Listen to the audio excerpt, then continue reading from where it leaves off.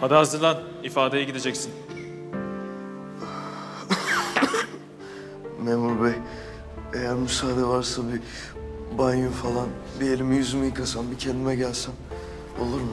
Vallahi ifadeden sonra rahat rahat duşunu alırsın. Merak etme. Cezaevinde duş falan var. He eskisi gibi değil. Acayip konforlu.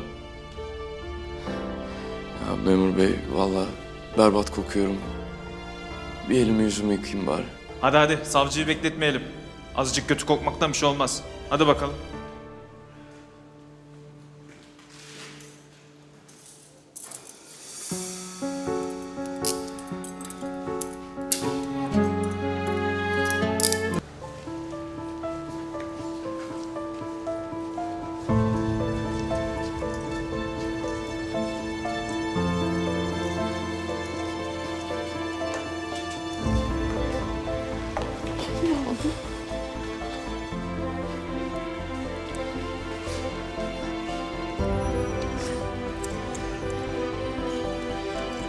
Mı anne? Acımadı, acımadı. Merak etme, iyiyim.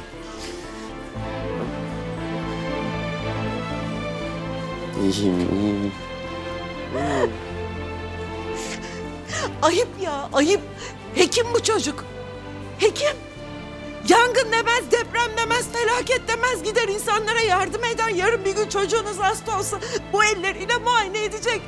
Ayıp ya kelepçe takmışsınız. Anne lütfen sakin ol ya. Onlar da emir kulu.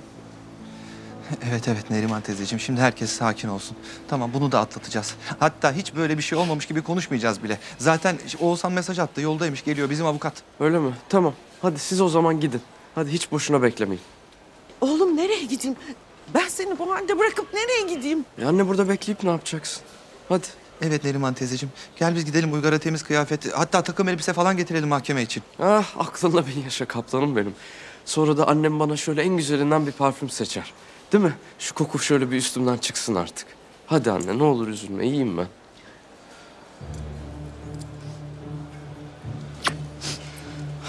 Annem merak etme.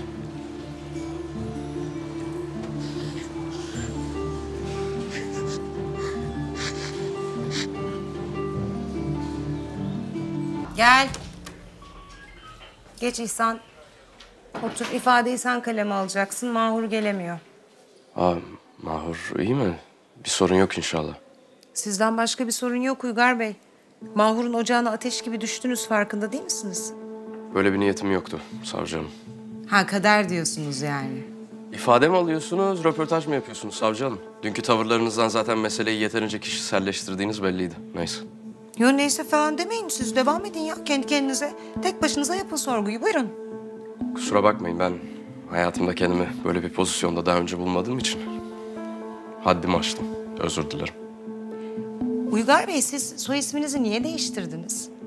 Yani 24 yaşında mahkeme kararıyla annenizin soyadını almışsınız. Ne oldu? Başka kadınlar da mı var kurbanlarınız? Yani belli davaları geride bırakmak için falan mı yaptınız böyle bir şey? Nedir? Siz zaten bulacaksınızdır sebebini. Ben o yüzden işinize mani olmayayım. Bence demagoji yapmayı bırakın. Beni de kendinizi de yormayın daha fazla. Meşgul etmeyin. Suçunuzu itiraf edin.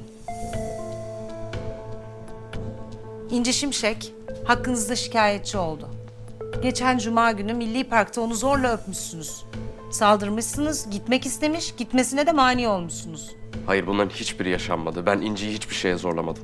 Ha, öpmeye de zorlamadınız yani. Hayır. Nasıl oldu? Bana anlatır mısınız lütfen? Ya siz zaten beni yargıladınız aslında savcı hanım. Yani dün polislere verdiğiniz talimatlardan belli. Ben o yüzden burada konuşmayacağım. Ben hakimin karşısında konuşacağım. Sanık kimlik tespiti yapıldı. Hakkındaki suçlama soruldu. Sanık mahkemede konuşacağını ifade etti. Soruşturmanın tamamlandığı, dava dosyasının hakime aktarılacağı sanığın yüzüne karşı da söylendi. Mahkemede görüşürüz Uygar Bey.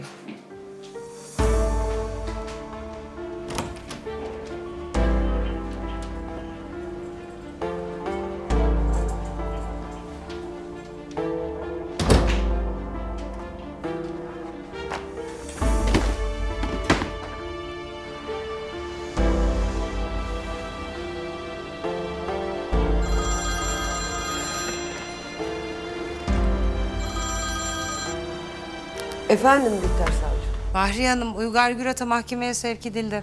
Ama bu adam bayağı bir pişkin. Belli ki daha önce böyle durumlardan paçayı kolay sıyırmış. Kılı bile kıpırdamadı. Şerefsiz. Yani bu sakinlikle mahkemeye çıkarsa hakimi bağlayabilir. Muhakkak mahkemede olun olur mu? Yani İnci de gelsin. Anladım.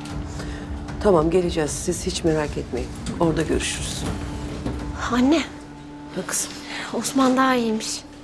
Ateşini de düşürmüşler. Uzaktan da gördüm iyi yani. Allah'ım çok şükür dualarım kabul oldu. Hadi o zaman yolcu yolunda gerek kızım. Hadi gidiyoruz. Nereye anne? Nasıl nereye? Mahkemeye. Savcı hanım aradı şimdi. Sizin de gelmeniz gerekiyor dedi.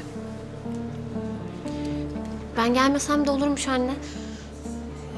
Avukat dedi, gelme dedi.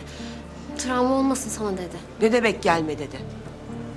Savcı hanım aradı diyorum. Gelmeniz gerekiyor dedi bana diyorum. Anlasana. Gidelim. Hakim bir görsün seni. Hem o doktor bozuntusu gene bir numaralar yapacak belli ki. Hakim seni görsün de şu yüzündeki masumiyeti bir anlasın. Bir de ayrıca bir beni görsün şu doktor bozuntusu. Bir daha görsün beni. Değil mi? Görsün de boyunun ölçüsünü bir alayım. Benim kızıma dokunmak neymiş bir görsün. Dur.